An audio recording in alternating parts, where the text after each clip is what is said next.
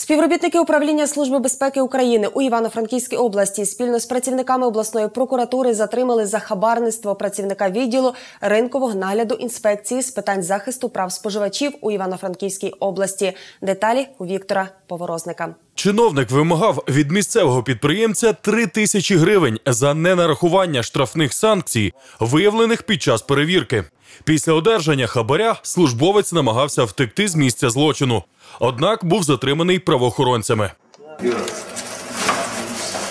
Стали грошові кошти, всі купюри номіналом по 100 гривень. 23 травня затриманому повідомлено про підозру у вчиненні злочину, передбаченого частиною 4 стаття 368 Кримінального кодексу України.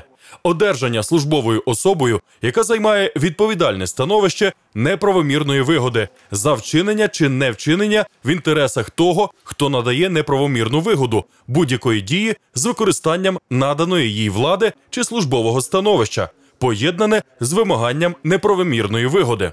Санкція статті передбачає покарання у вигляді позбавлення волі на строк від 5 до 10 років з позбавленням права обіймати певні посади чи займатися певною діяльністю на строк до 3 років та з конфіскацією майна. Про це повідомляє прес-служба управління Служби безпеки України в Івано-Франківській області.